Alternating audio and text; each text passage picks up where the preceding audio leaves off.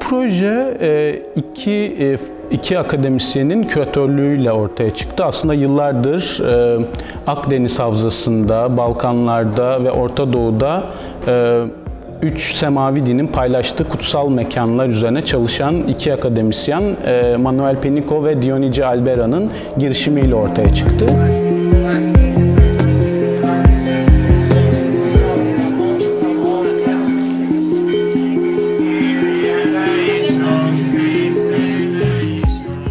Müslümanların, Hristiyanların ve Yahudilerin bir arada yaşadığı, ibadet ettiği mekanları e, kapsamlı ve çok katmanlı bir şekilde anlatmayı hedefliyor. Kültürel ve dinsel çoğulculuğu merkezine alan bir toplumsal yaşamın mümkün olduğunu e, göstermeyi amaçlıyor. Çatışmaları veya e, gerilimleri de göz ardı etmiyor. Bunları da bir şekilde örnekliyor.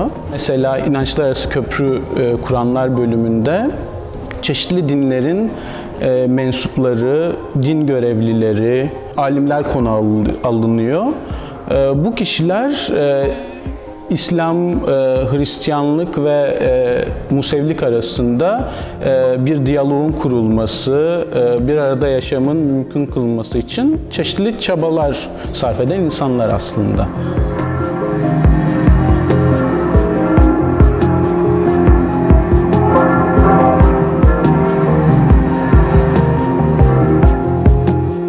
Akdeniz'de, Orta Doğu'da ve Balkanlar'da bir hac yolculuğuna çıkarıyor ilk olarak seyircileri. Birincil olarak böyle bir anlamı var.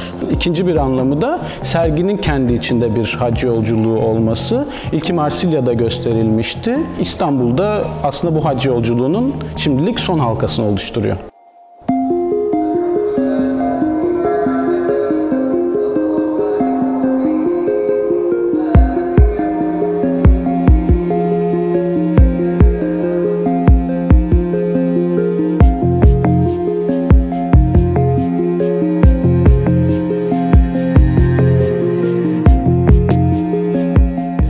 Kültür e, Yönetim Kurulu Başkanı Osman Kavala'nın e, Türkiye'de gösterilmesini çok arzuladığı bir sergiydi. Umuyorum kendisi yakın zamanda özgürlüğüne kavuşacak ve bu sergiyi e, Temmuz'a kadar ziyaret imkanı bulacak.